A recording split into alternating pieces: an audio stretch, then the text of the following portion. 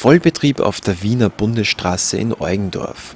Heute soll dort erstmals die neue Verkehrslösung unter dem Beisein von Verkehrsreferent Wilfried Haslauer getestet werden.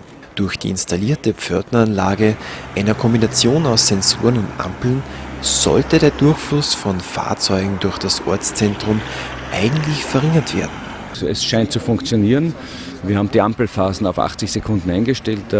Stau baut sich außerhalb des Ortes auf, das ist schon einmal wichtig, aber eben nur im Bereich einer guten Minute und dann können die Autos wegfahren und sie werden nicht mehr durch die anderen Autos, hier in dem Fall die von Hendorf kommen, behindert, sodass der Verkehr flüssig durch Eugendorf durchlaufen kann. Von flüssigem Verkehr kann aber nicht unbedingt die Rede sein. Bereits um 8 Uhr früh in der Ferienzeit ist der Stau aufgrund der Ampelphasen schon beachtlich.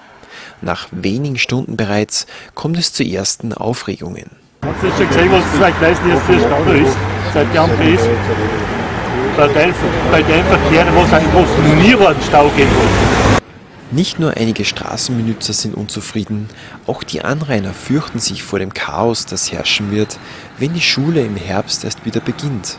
Das ist jetzt der Sommerverkehr, der, der, der ist nicht so schlimm, aber wenn, wenn dann der normale, der normale Berufsverkehr ist und dann ähm, im Herbst wieder, das wird, das wird sicher schlimm. Ich, ich kann mir es nicht vorstellen. Es wäre besser, sie wären da äh, bei Händler die irgendwo rauf auf die Autobahn. Gell?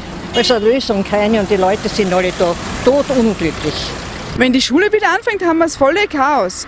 Weil daher warten die Autofahrer zum ersten Mal bei der Ampel dann fürchten wir uns vor den Schleichwegfahrern auf der alten Wiener Straße. Die Autofahrer werden äh, noch einmal stehen, wenn es eingebunden wird. Das nächste Mal vor dem Kreisverkehr. Wir werden die Hölle im Ortszentrum bekommen. Das ist, jetzt äh, erst ein paar Stunden offen. Und da kann man noch nicht hergehen und sagen, das ist jetzt die Lösung. Die Lösung muss sein, dass man mit dem, was herkommt, fertig werden und für die Anrainer halbwegs verträglich ist. Ob man das schaffen, weiß ich nicht. Äh, ich bin mit manchen Dingen nicht zufrieden aber nicht jetzt, weil das gemacht worden ist, sondern mit der Art und mit der Vorgangsweise. Aber für mich ist jetzt Schluss, irgendwann einmal muss mit dem aufgehört werden. Die nächste Baustelle steht da hinten, das ist die Verbundleitung.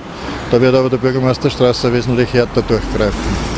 Die geforderte neue Autobahnauffahrt wird seitens der Landesregierung nicht aus den Augen verloren. Ob und wie das Kapitel Verkehrslösung Eugendorf also geschlossen wird, wird sich noch zeigen.